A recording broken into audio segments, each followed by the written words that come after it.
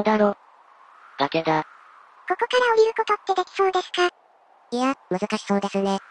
もし降りるにしてもロープを使わないと無理だな。そんな。やっとここまで下ってきたのに。なあなあレイム、今日はどんな話をしてくれるんだ？あら、マリサ。今日は2009年に荒船山で発生した遭難事故の話をするわよ。荒船山は、群馬県下仁田町と長野県佐久市にまたがる標高1423メートルの山。妙義荒船佐久高原国定公園に属している山で、日本200名山の一つでもあるわ。ふむ。山なのに、名称に船という文字が含まれているのは独特だな。画像を見てわかる通り、山の形は大地となっていて、遠くから見ると荒波を割って進む船のように見えることから、荒船山という名になったと言われているみたいね。へえ、周辺の山や森を荒波に見立てているのか。名前だけでなく、山陽もかなり特徴的な山だな。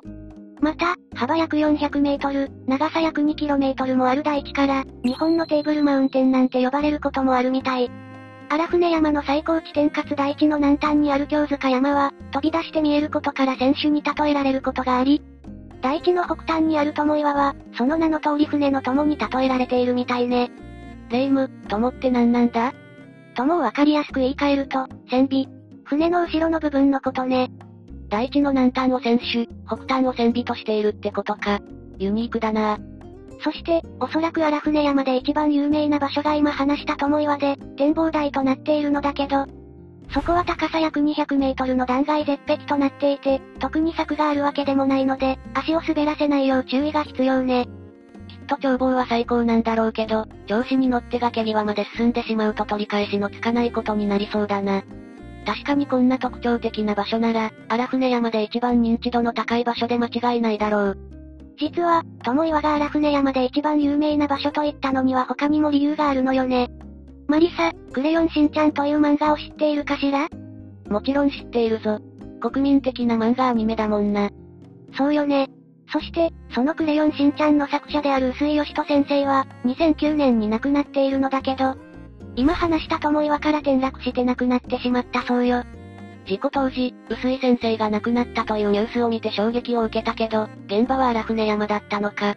現場までは覚えてなかったな登山が趣味だった薄井先生は、2009年9月11日に一人で荒船山へ登山へ向かったものの、翌朝になっても帰宅しなかったことから、捜索願いが出されたようね。そして9月19日になり、友岩から120メートル崖下に転落している男性の遺体が発見されたの。発見された男性は、骨が折れて顔は判別できないほど損傷が激しかったみたいなんだけど、最終的には歯型で薄い先生であると判明したそうよ。あんなゴツゴツしてそうな崖から落ちたらそうなってしまうよな。事故当時、この薄い先生の死について色々な憶測が飛び交ったのだけど、現場から発見されたデジタルカメラに残っていた最後の画像は、崖の下を覗き込むように撮影されたものであったことから、事件性はなく、写真を撮っている際に誤って足を滑らせて転落したものと見られているようね。悲しい事故だな。もしかして友岩って、転落事故がたくさん起きている場所なのか？私が調べた限りだと、毎年何件も起きている、というわけではないみたい。でも最近だと、2024年の6月に20代の女性が友岩から転落して、亡くなってしまったみたいね。6月って、1ヶ月前じゃないか。そんな最近にも起きていたんだな。で、薄井先生の事故が起きたのが2009年9月11日だったわけだけど、今回解説する遭難事故は同年の9月13日、薄井先生の事故の直後に起きたものなのよ。え、そうなのか。もしかして、今回の事故も友岩からの転落。それについてはこれから解説していくわよ。じゃあ、今日の本題である事故の解説を始めるわね。ああ、よろしく頼む。荒船山で起きた遭難事故はどんなものだったんだ ?2009 年9月、30代で夫婦の高橋とエイリン。高橋は学生時代、ワンダーフォーゲル部だったらしく、それなりの登山経験があったみたい。一方、エイリンは本格的な登山の経験はなかったようで、登山の装備を揃えての登山は今回が2回目だったそうよ。そんな二人は、9月13日に妙義山を登る予定だったの。え？妙義山？ここまでの話の流れからすると、荒船山に登るんじゃないのか？ひとまず、妙義山について説明すると、妙義山は群馬県にある標高1104メートルの山。同じく群馬県にある赤城山、春名山と共に上毛三山に選ばれていたり、日本百景かつ日本三大奇景に選ばれている山でもあるわ。へえ、奇景っていうのは、奇妙な景色って意味なのかな。どういう景色が見られるんだ？妙義山には奇妙な形をしたいわ、祈願がたくさんあって、それが日本三大奇景に選ばれている理由みたいね。そして、妙義山から十数キロメートル離れた場所に、今回解説する事故が起きた荒船山があるの。ふむ。そんなに遠くない場所に荒船山があるのか。もしかして、予定変更して荒船山に登りに行くことになるのかな？それについて説明するために、ここからは登山前日である9月12日の高橋と栄林の行動を見ていくわね。登山前日の9月12日。翌日の朝から妙義山に登るために、車で民宿までやってきて全泊することにした高橋と栄林。妙義山付近でたまたま空いていた民宿を選んだそうなんだけど、その民宿は荒船山のふもとにあったの。そのため、せっかくふもとまで来たんだし、明日は妙義山じゃなくて荒船山に登ってみない？いいわね、そうしましょう。予定を急遽変更し、妙義山ではなく荒船山に登ることにしたそうよ。急な予定変更か。嫌な予感がするな。ところで、エイリンは登山経験が多くないようだったけど、荒船山はそんな人でも登れる山なのか？荒船山山頂へ向かう登山ルートは複数あるのだけど、最もコース距離が短い荒船不動コースを登る場合、コース距離は約 4km で、2時間半ほどで往復できるみたい。また、友岩を通過する人気コースである内山峠コースの場合は、コース距離約 9km で往復約5時間半ほどかかるみたいね。ふむ。もし二人が登るコースがその2コースのどちらかだとしたら、出発時刻さえ間違えなければ大きな問題はなさそうだな。で、二人が登ることにしたコースはどれなんだ？二人は、民宿に車を置いて、そこから登ることにしたそうなの。そして、二人が宿泊した民宿がどこなのかは不明なんだけど、荒船山のふもとで民宿がありそうな場所かつ民宿から歩いて登れそうな位置を考えると、おそらくこの辺りに民宿があって、立岩コースで登るつもりだったんだと思うわ。ふむ。民宿からスタートした場合、コースタイムはどれくらいになるんだ？コースタイムは上りで約4時間、下り約3時間の合計7時間となり、往復距離は約 13km よ。往復で7時間か。さっき紹介してくれた人気の内山峠コースよりも時間がかかるな。急な予定変更、そしてエリンの登山経験が多くないことを考えると、若干不安だ。この後何が起きるのか。翌日、登山当日の9月13日。民宿の奥さんからお弁当をもらった二人は、朝9時頃から登山開始したの。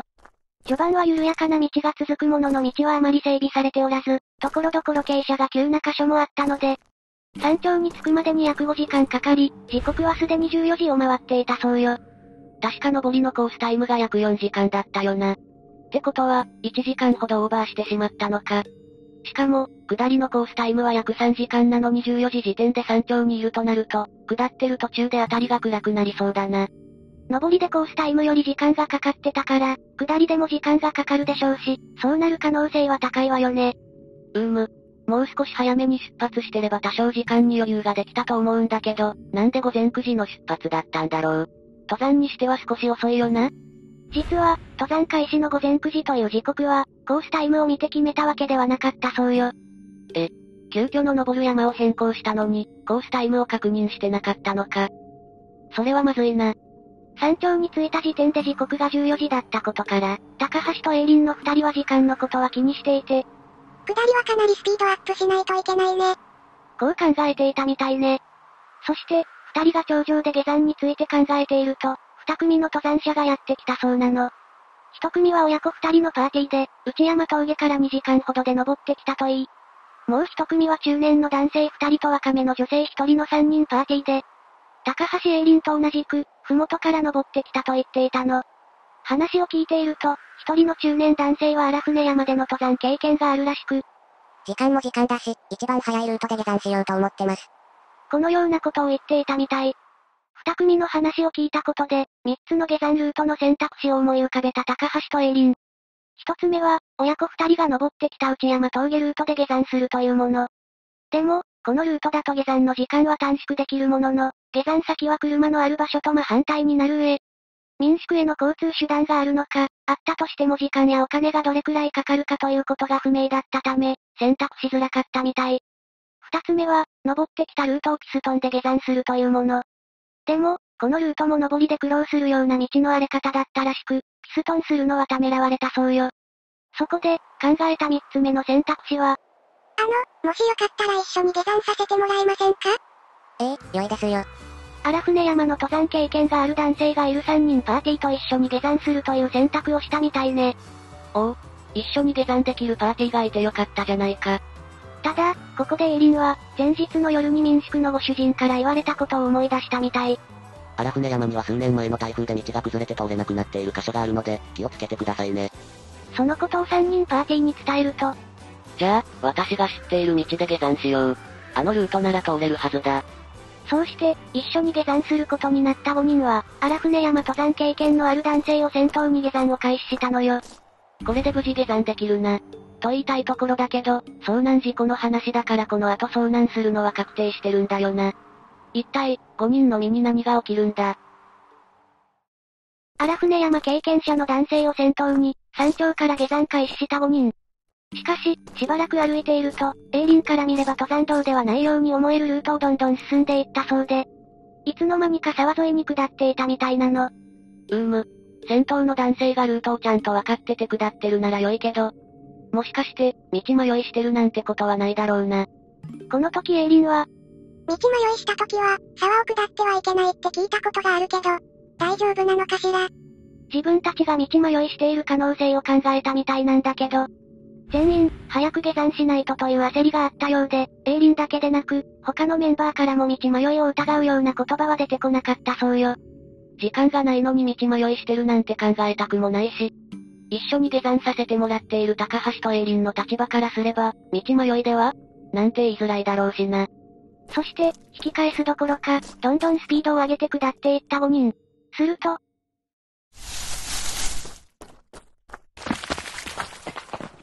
嘘だろ。崖だ。なんと、5人の目の前には崖が現れたそうよ。崖？これは完全に道迷いしてるな。ここから降りることってできそうですか？いや、難しそうですね。もし降りるにしてもロープを使わないと無理だな。そんな。やっとここまで下ってきたのに。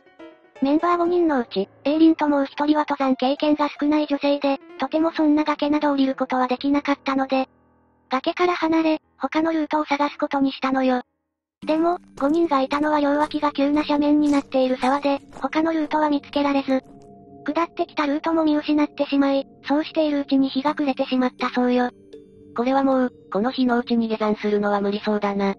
どうやら5人は、民宿のご主人が話していた台風で崩れてできた道に入ってしまったようね。もしかしたら、台風で道の様子が変わっていて、荒船山の登山経験があった男性であっても道がわからなくなってしまったのかもな。しかも、今みたいにスマホは普及してなくて、当然 GPS 登山地図アプリもなかったから、一度迷ってしまうと、登山道に復帰するのはかなり難しそうよね。で、5人はどうすることにしたんだ ?5 人は沢から少し上がった平らな場所を見つけて、そこでビバークすることにしたそうよ。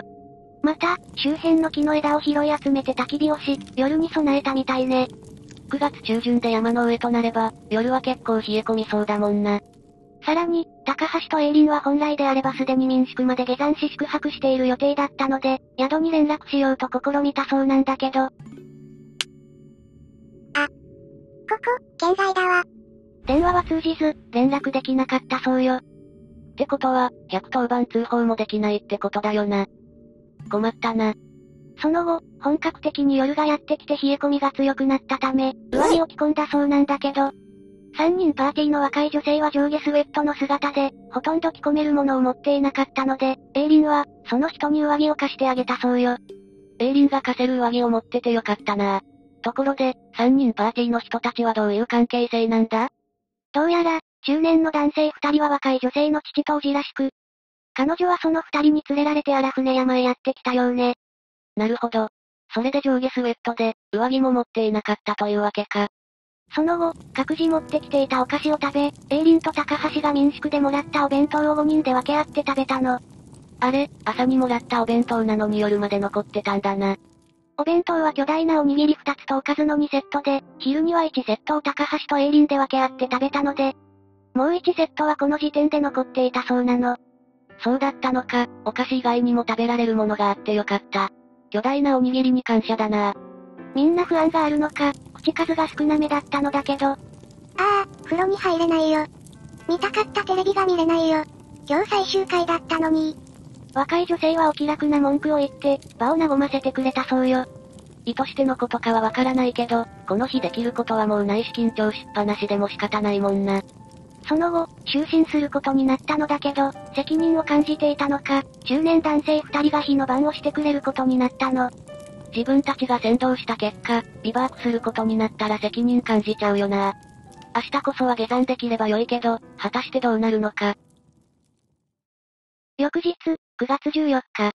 空が明るくなってきた頃、5人は下山を目指して活動開始したの。元のルートに戻るために沢を登ってくと、二股の分岐が現れ、どちらから下ってきたのかわからない状態。それぞれ道を探したものの見つけることはできず、時間だけが過ぎていったの。そして、空腹と疲労で体力の限界が近づいてきて諦めムードが漂ってきたその時。登山道があったぞ。なんと、中年の男性が傾斜を登ったところに登山道を発見したのよ。おう、登山道に出られさえすれば、あとは道なりに下っていけば下山できるはずだ。登山道を下り始めた5人。少し緊張がほぐれたのか、世間話をする余裕も生まれたそうよ。そして、登山口が近づくとヘリコプターの音が聞こえ始め、登山口に到着すると、そこには、たくさんの警察関係者がいたの。こんにちは。失礼ですが、エイリンさんと高橋さんではないですか？はい、そうです。前日、高橋とエイリンが宿に戻ってこなかったため、民宿のご主人と奥さんが警察に通報しており、捜索活動が行われていたの。また、登山口には民宿のご主人も登山姿で捜索に来ていたそうよ。通報してもらった上、捜索にまで参加してくれてたなんて、頭が上がらないな。その後、民宿へ戻った高橋とエイリン。すると、無事に帰ってきた二人の様子を見た民宿の奥さんは、泣きながら喜んだみたい。あったかいなご主人も奥さんも素敵な人だ。そして、民宿で少し休んだ後、高橋とエイリンは警察にお礼とお詫びをしに行ったそうなんだけど、なんと、ご主人もついてきてくれて、アドバイスもくれたそうよ。また、ご主人は高橋とエイリンに対して、今回は大変な出来事だったと思いますが、どうか登山をやめないで続けてくださいね。優しい言葉をかけてくれたのよ。ご主人、何から何までいい人すぎる。こんな人になりたいものだな。この経験を糧に、高橋とエイリンが楽しく安全に登山を続けてくれてると良いな。今回の事故では、荒船山に入山した高橋とエイリンの二人、山頂で合流した3人の合計5人が下山中に遭難し、ビバークしましたが、翌日、無事に自力で下山しました。今回の登山の問題点は、迷っているのに沢を下ってしまったことなどが挙げられますが、一番の問題点は、直前に登る山を変更したのにコースタイムを確認していなかったことでしょう。事前にコースタイムを把握し、もっと早く出発していれば下山時に焦ることなく、無事に下山できた可能性が高いです。また、コースタイムを把握していなかったということは、登山届も未提出だったと思われます。急な予定変更でも、登山届は提出すべきです。まだスマホが普及していなかった事故当時に比べ、今は格段に山の情報が入手しやすくなっています。登山ルートの地図やコースタイムを簡単に見ることができますし、登山届の提出もウェブ上で行えます。ご自身の安全のためにも、急な予定変更があっても準備を怠ることなく、登山を楽しんでくださいね。最後に、あなたは、この事故について何か思うことはありますか？